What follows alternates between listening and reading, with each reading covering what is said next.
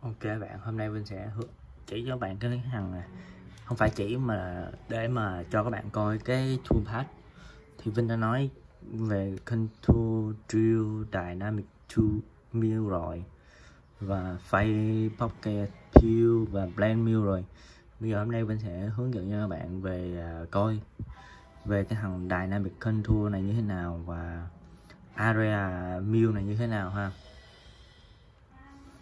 thì à, đối với Dynamic Contour nè các bạn thì à, top ok. Đối với Dynamic Contour thì nó chỉ dành riêng cho cho cái bóc kẹt thôi các bạn. Bóc kẹt là gì? Bóc kẹt là cho những cái ờ, vuông ví dụ mình sẽ cho các bạn coi. Uh, 2D 2D 2D 2D uh, 2D 2D 2D uh, 2D đây. Nào bạn. Thì các bạn nhìn nè ha. Thì đây là Dynamic Contour 2D Dynamic Contour Mill. Đó. Nếu các bạn nhìn thì cái hình dạng của nó đó là đối với những cái góc mà à, góc nhỏ đó các bạn thì nó sẽ đi cái hình dạng giống vậy nè. Đây là cái toolpath của nó. Cái kiểu toolpath nó vậy nè bạn ha. Cái dạng sóng này cái góc á. Thì những cái góc đó đó nó sẽ là những cái góc mà có thể gây shader đó. Nó không có bự. Những cái góc ví dụ góc bự á, thì nó không sẽ sẽ không xảy ra. Còn khi mà mình có những cái góc nhỏ và nhiều khi cái góc nhỏ đó, tốc độ và fit rate nó phải khác nhau thì cái kiểu cắt nó cũng khác nhau luôn này là đối với lại cái bóc kẹp. Đó, thì thì nó sẽ cắt như vậy nè các bạn. Để coi. Đó các bạn thấy không? Nó sẽ cắt giống vậy. Nó tới những cái góc. Đó. Nó tới những cái góc bắt đầu nó xoáy nó xoáy nó xoáy các bạn thấy không? Rồi nó xoáy đó. xong rồi nó xoáy đó. Nó xong bắt đầu nó nó dở lên nó nó nó nó, nó, nó cắt lại cái phần phi điệp một lần luôn. Ừ. thì đó là cái kiểu cắt của nó để nhằm giúp cho những cái góc đó nó không bị shader nhiều. Shader là bị rung mẹ. Khi mà mình bị rung á, mình cắt không có đẹp được. Ok. Còn cái à, cái thằng ví dụ cái thằng A- Aramu này á là bạn. Bạn nhìn ha. À, Area Mill nó cũng như là thằng bóc kẹt vậy thôi. Để mình cho các bạn coi Area Mill ha. Don't stop. Chuli chuli chuli chuli chuli truly, plan, truly, truly, đây, các bạn thấy không? Isometric. Là bây giờ hai pitch hai pitch Ara Mill nè các bạn. Đối với thằng Ara Mill thì nó cắt giống vậy nè. Bạn nhìn nó cắt. Ừ, nó cắt cái kiểu gì? Đó vậy ha. Nó sẽ cắt cái kiểu mà ruộng bậc thang nó đi xuống các bạn. Nó sẽ phá. Đó bạn thấy không đó, phá bắt đầu nó đi. Đó, kiểu đây là kiểu area mill đó bạn ha, giờ mình cho các bạn coi thử. Ừ.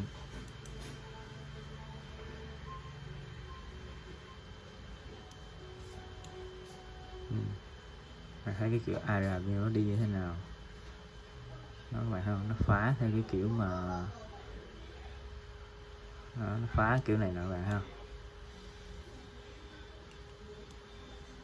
Đó. Nó là dạng vậy các bạn. Nó phá qua nó phá lại thôi đó, rồi bắt đầu tới khúc gần cuối á, bắt đầu mới quét. Tới khúc mà nó gần cuối á, bắt đầu nó mới quét này các bạn thấy không?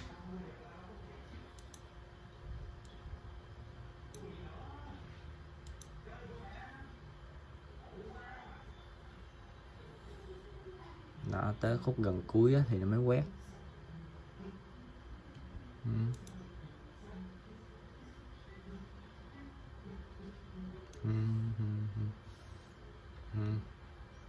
nó cũng là thuộc một cái dạng bóp kẹt luôn bạn thì mình coi thử trong cái này nó như thế nào ha. Cấp parameter nè. Tab cấp parameter. Thì nó cắt theo cái chuẩn bậc thang các bạn. Những cái này thì à, mình chưa có thử tới, nhưng mà mình đang ốp um, transition thì mình đang chọn cái helix Z nè. Những cái này là những cái mà độ các bạn. Lưng angle là những cái độ mà nó nó nó đi xuống. Và cái độ dài. Còn cái này là skip more là đen 110 ok. Ừ, thì cái kiểu area này á. Area mu này các bạn các bạn có thể phá một cái khối lượng lớn ở vật liệu. Còn đối với cái dạng à, dynamic contour này á là khi mà những cái góc mà nó góc nhỏ như vậy nè các bạn thì nó sẽ phá lại một những cái góc nhỏ thôi. À, bây giờ mình sẽ ví dụ nha. Thì đây là area view kết hợp với lại dynamic contour ha. Nó thì các bạn mình có cái ví dụ gì không? Về đi. À, thì bây giờ mình sẽ bấm vô cái area view đó, mình sẽ chọn cái machine uh, region ha. Machine region thì machine vô. Bấm vào thằng này một cái. À, à, chiều mũi tên còn lại ha rồi xong. Say inside ví dụ các bạn muốn coi bạn review chain là ha. Đó thì những khúc này nè. Là những khúc mà nó cắt. Rồi ví dụ như mình chọn tắt hàng này đi. Mình ví dụ avoid đi mình dùng avoid hàng này đi. Rồi mình review say from outside rồi, review chain rồi. Thì những cái này nó cắt ví dụ star, mình ví dụ thử đi ha. Những cái này nó cắt ha, để coi thử coi. Nó như thế nào? Tool place cut parameter, linking parameter that một còn coi thử lên nó cắt làm sao. Đó. ví dụ vậy. Ví dụ vậy. Đó, nó sẽ cắt những cái góc mà bạn thấy không? Ừ. ừ. đó nó vậy các bạn thấy không? Ừ nó sẽ phá những cái góc này đó. nó cũng là một dạng. À, bây giờ mình sẽ cho các bạn coi thử nó cắt verify thử như thế nào ha.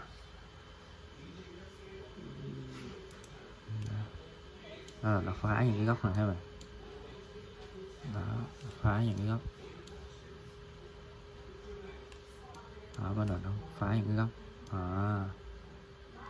thì đây là cái kiểu area mà mình chọn avoid đúng không còn bây giờ mình muốn phá cái lỗ nè muốn phá cái lỗ trong này nè các bạn thấy không? Muốn phá cái lỗ trong này. Thì à, mình chọn lại uh, muốn phá cái lỗ trong. Thì mình chọn vào area lại nè không? Và cái bạn kêu nó là machine. Và mình muốn machine nó cái cái cái vành này hướng chiều mũi tên ngược lại. Ok? Click ok. Đó bạn review chain đó thì nó nằm vô đây. Bạn kêu nó stay inside cho mình. Rồi điều chain lại ha. Nó nằm ở trong. Tại bạn muốn phá ở trong đó. ok. Rồi good. Thì nó sẽ phá giống như kiểu mình hồi nãy. Các bạn sẽ chọn thua như vậy đúng không? Cut parameter nè. Đó. Đó. Cut kép ví dụ stock on word mình không uh, nào các bạn nhìn nè ha giả sử cái góc này là mình sợ nó quá nó quá nhỏ đi thì dao của mình tới đây nè. Nếu mà cái tốc độ và cái spindle cái tốc độ vòng quay và cái tốc độ cho ăn nó không hợp lý đó tới những cái góc này nè nó sẽ kêu như là như là con heo kêu vậy đó ép ép ép vậy đó. Thì uh, mình có thể là mình chừa ở đây khoảng 50 ngàn một chút xíu và mình sẽ chừa chỗ này tầm khoảng 50 ngàn một chút xíu các bạn thấy không? Để cho nó chừa ở cho mình đó. Rồi đó mình đã chọn xong rồi đúng không? Rồi bây giờ mình sẽ khai báo cái vị trí đép là ngay cái góc đó luôn. Đó nè bạn thấy không? Uh, ok. Đó thì bây giờ nó sẽ ra cho mình thôi.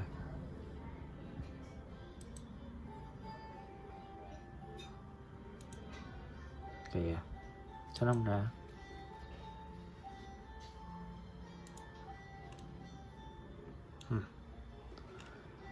Sao nó không ra?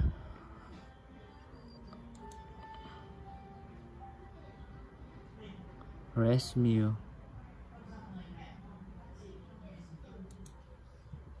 Cho nó không ra các bạn? À mình phải tắt thằng này đi. Ok. Nè bạn thấy không? Đó. Bạn thấy không? Đó, nó sẽ ra giống vậy đó bạn thấy không? Đó đó. Rồi bạn mình cho bạn coi tại vì bạn biết mình chừa nó 50 ngàn đúng không? Đó mình chừa nó 50 ngàn thì nó sẽ không cắt hết đâu. Đó các bạn thấy không? Hai vành trên 50 ngàn ở khúc này ở khúc này.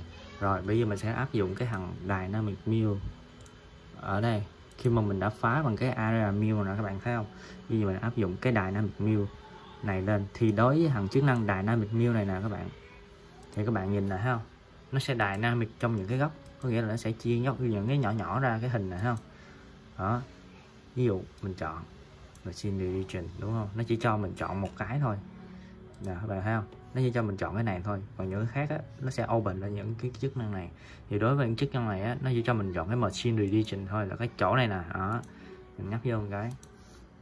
Đó mình click ok đó thì là các bạn thấy cái hình này không? Đối với những cái góc này những cái góc mà nhỏ đó thì nó sẽ chia chia nhỏ ra nó cắt để cho những cái thằng này nè uh, nó không bị shader nó không bị kiểu như là QSS vào những cái góc các bạn hiểu không? Đó. Rồi bây giờ mình sẽ chọn cái dao nhỏ hơn. Đó. Thì đối với những con dao nhỏ này nè nó cắt như thế nào? Đó. Mình không cho nó chừa luôn mình chọn ví dụ mình sẽ không thì cái tí họ các bạn sẽ coi những cái cái này nó như thế nào ha? Ừ. mình sẽ chọn là không hết và không có cho nó chừa gì hết. Ok. Rồi, bây giờ mình bấm một cái đép yeah. chọn vào đây. Đó, cái đép y chang vậy. Đó, các bạn thấy không? Đó. Và những cái góc. Những cái góc nó sẽ như thế nào đây? Dynamic control và mình quan chọn cái phần này à, các bạn. Approach uh, ờ, approach distance đó, là có nghĩa là cái uh, bạn cho thằng này kéo dài là bao nhiêu có nghĩa là lead in lead out á. Để tí hồi mình cho các bạn coi cái approach uh, ờ, approach mà là distance ha. Ví dụ à. ở đây thì nó không có nhưng mà mà mà mà, mà để cho coi thử coi. Nó cắt như thế nào ha.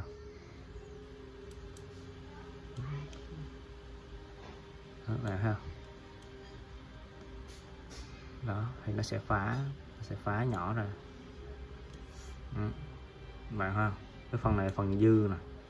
Tại vì cái thằng này nè, cái biên dạng nó nhỏ quá, nó bị nhạn nó nó không có nhỏ quá, nên cái cái thu phá đó, nó không có, nó không có phát huy. Đó. để mình mở lại cái thu phát hồi nãy cho các bạn coi ha. Nè đây là cái thu bát mà mà cái kiểu mà mà high speed contour mill nữa các bạn thấy không? Đó thì đối với những cái góc này nè nó sẽ nó sẽ quằn quại. Đó, nó sẽ quằn quại vô những cái góc này. Nè, đó. Đây là cái tool dynamic contour mill nữa các bạn thấy không? Thì cái chain của mình á mình cho bạn coi. Cái chain của mình thì mình chọn ngay khúc này để mà để mà nó phá nó phá ra. Đó, mình chỉ cần chọn một cái này thôi. Đó.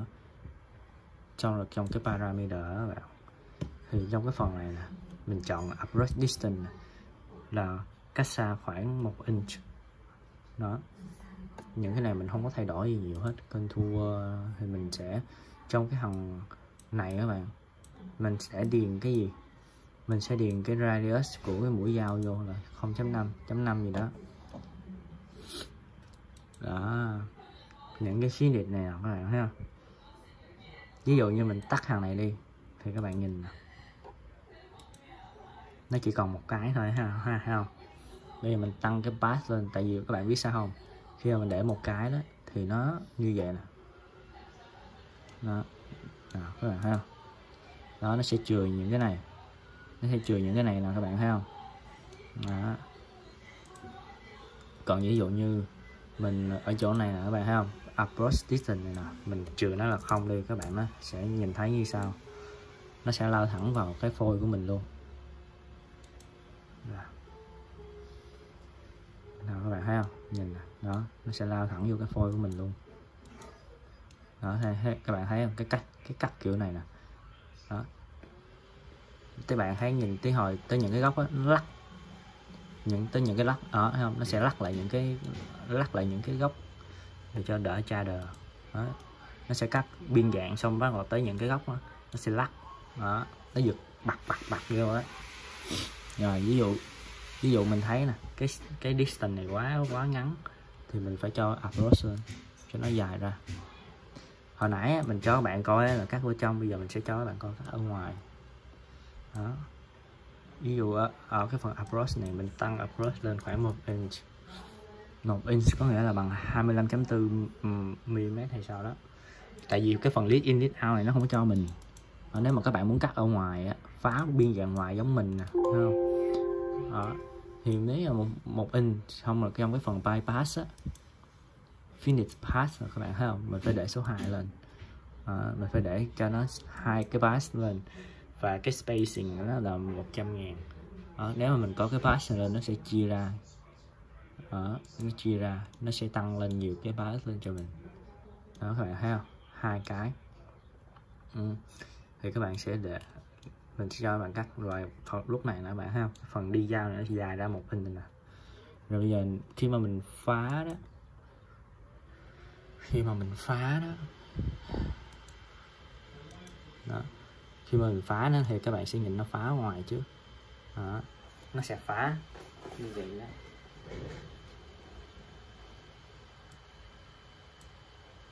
Đó, bạn thấy không? Nó phá.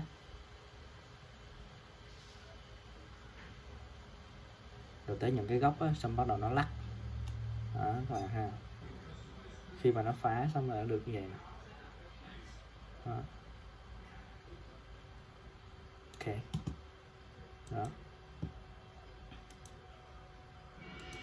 Rồi xong rồi đó bạn. Bạn thấy không?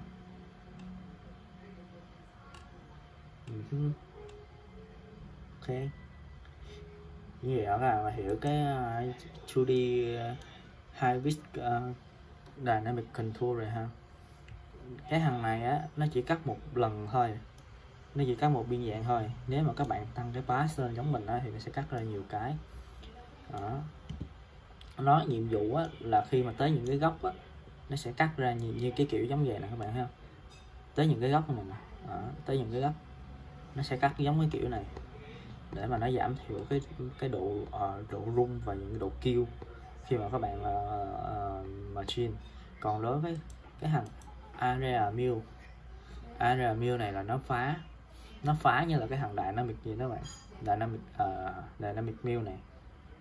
Và hàng area mill này nó cũng được hai thằng này nó đều phá phá một cái rất là bự phá mà thành hình luôn á nha. Hoặc là cái kiểu cái contour này á cái contour này nó chỉ definite thôi nếu mà bạn nào học rồi thì có hai cái kiểu phá.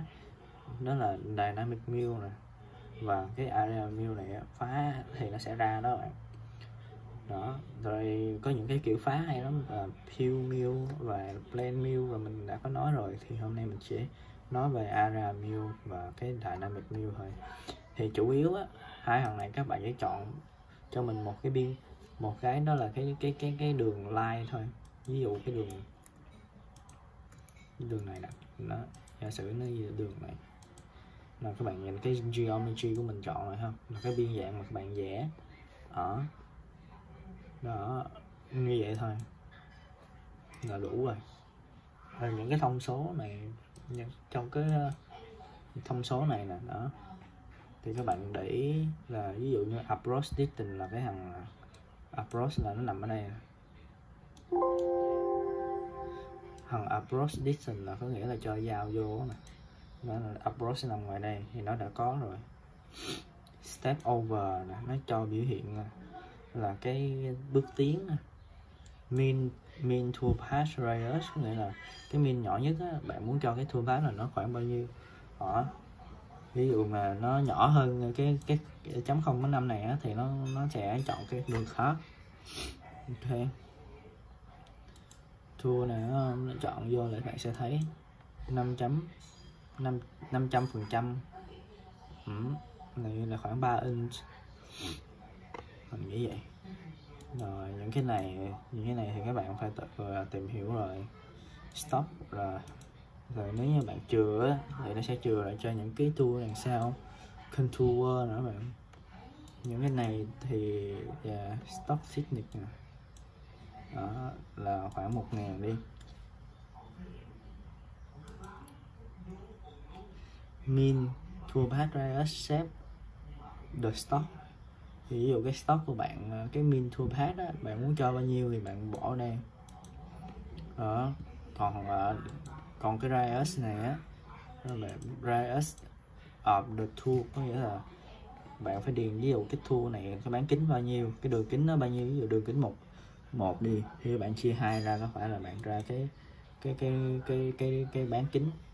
S là bán kính thì à, bạn điền vào đây nó cũng giống như cái phần ở bên này thôi bạn điền ở trong này nè. Đó, nó điền ở trong này.